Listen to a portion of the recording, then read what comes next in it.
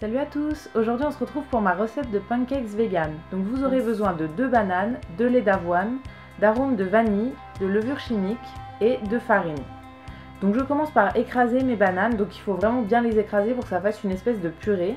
Et ensuite je vais rajouter le lait végétal, donc il en faut 320 g et pour ma part c'est du lait d'avoine, après vous pouvez mettre le lait végétal de votre choix.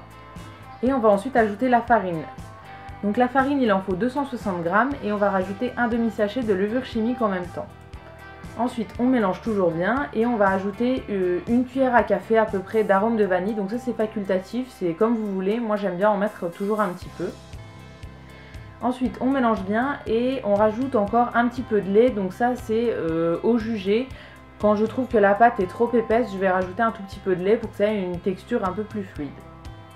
Ensuite, pour la cuisson, euh, moi je l'ai fait cuire dans une poêle anti-adhésive, ça me permet de ne pas mettre de matière grasse. Et donc je vais mettre à peu près une demi-louche de pâte et je vais laisser cuire. Donc ça va commencer à faire des espèces de petites bulles et quand il y a des bulles partout, ça veut dire qu'il faut le retourner.